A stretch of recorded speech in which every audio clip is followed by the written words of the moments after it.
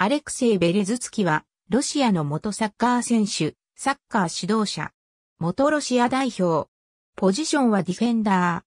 ー。現在は、ロシアサッカープレミアリーグ PFC チェスカモスクワの監督を務めている。1999年にトルペドジルモスクワでプロデビュー。2001年にチェスカモスクワに加入。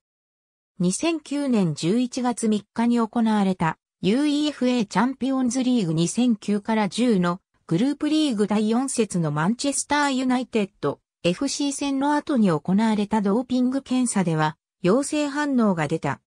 クスカ側は風邪薬を投与したこと、メディカルスタッフの手続き上のミス、との声明を出した。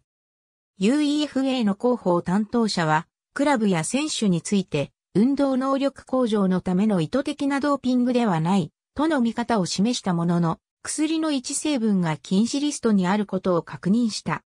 UEFA は同年12月17日、セルゲイ・イグナシェビッチと共に、1試合の出場停止処分を課した。最終節の試合には出られなかったものの、クスカはグループリーグを突破。UEFA チャンピオンズリーグ決勝トーナメント1回戦のファーストレグセカンドレグのセビージャ戦ではスタメンで出場し、ロシアクラブ初のベスト8進出に貢献をした。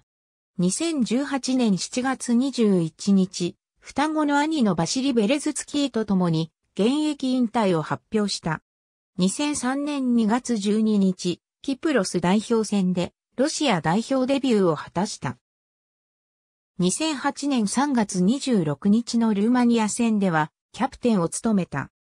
同年5月のカザフスタン戦を最後にしばらく出場機会に恵まれなかったが、2009年9月5日のリヒテンシュタイン戦で1年4ヶ月ぶりとなる出場を果たした。以降は手薄な守備陣のバックアッパーとして重宝されている。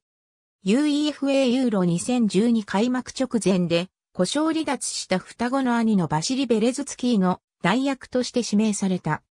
だがチェスカ・モスクワの同僚でありながら、イグナシェビッチとの意思疎通がうまく図れず、失点こそ少なかったものの、守備陣に混乱を招いた。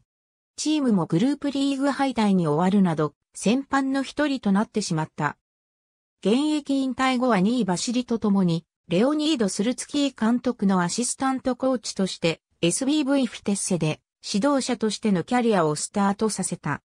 フィテッセ対談後、キャリアを通じて、バシリとは、初めて別々の道を歩み始め、2021年2月に、ビクトル・ゴンチャレンコ監督率いるチェスカ・モスクワのアシスタントコーチに就任。同年3月にゴンチャレンコ監督が退任し、翌月には FC クラスのダールの監督に就任し、バシリも同チームのアシスタントコーチに就任したが、アレクセイはチームに残り、公認となったイビツァ・オリッチ監督を支えた。同年7月にオリッチ監督が解任された後は、暫定監督としてチームを率いた。